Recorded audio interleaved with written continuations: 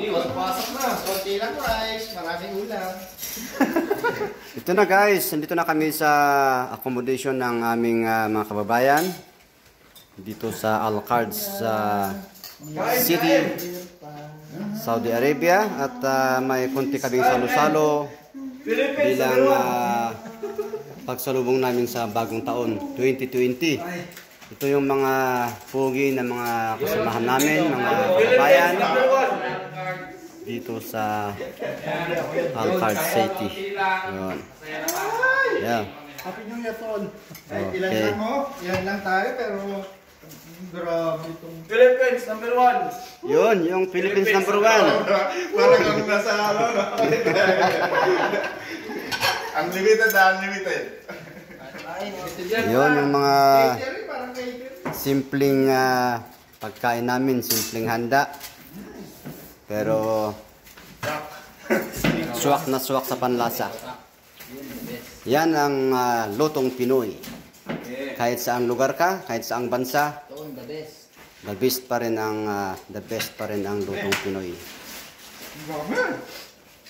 Ito yung pamahiin na may bilog-bilog, na may dalang swerte. Ito yung, ah, anong pangalan nito? Imbutido. Imbutido, Yun, may butido. spaghetti, siyempre, hindi nawawala yan. Spaghetti. Turon, Pizza na bilog, pizza na bilog. May ah, lechon, lechong manok. Wiw. Chalap-chalap. Bawal magtira. Bawal magtira. Homemade pizza. Ito. Graham. Di ubos yan. Yun. At syempre, hindi mawawala ang kanin. Barbecue. Guys, Oh. may Yan, barbecue. barbecue. Pero hindi Yun. baboy ah. Manok lang ah. Mukha Bawal lang ang yan? baboy. Mukha lang baboy. Bawal ang baboy. pizza. Ang sarap naman. Baboy. Sa tingin pa lang, mabubusog ka na eh. Bawal ang baboy. Yun. Meron ding puto, syempre. Yan, num- yan, num- number one Philippines dyan. Yan. Dessert. Ito yung mga Lutong Pinoy yan. dessert, oh. Mga fruit salad. Daming pagkain, no? Sana araw-araw ganito ang pagkain natin. Sana all. Ika nga sa, ika nga sa Saudi. Inshallah. Ako na lang taga-video ha. Sige, kain lang muna kayo. Alhamdulillah.